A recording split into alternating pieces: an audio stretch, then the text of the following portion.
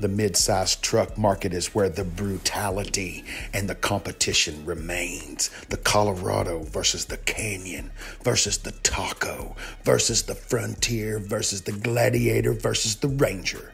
Up first, the Frontier 300 horsepower V6. This is a Pro X version, so it gets dirty.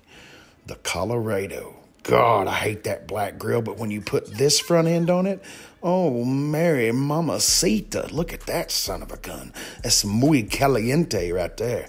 Up next, we've got the Gladiator the Rubicon Gladiator.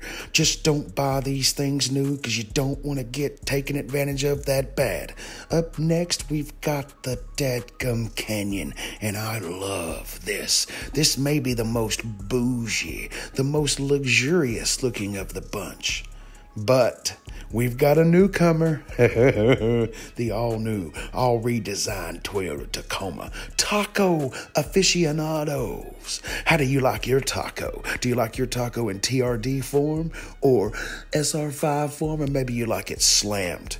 the all new redesigned Ford Ranger. Ford said, wait a minute, we're getting in on this mid sized truck market because we've got a nameplate that's been around for a long time.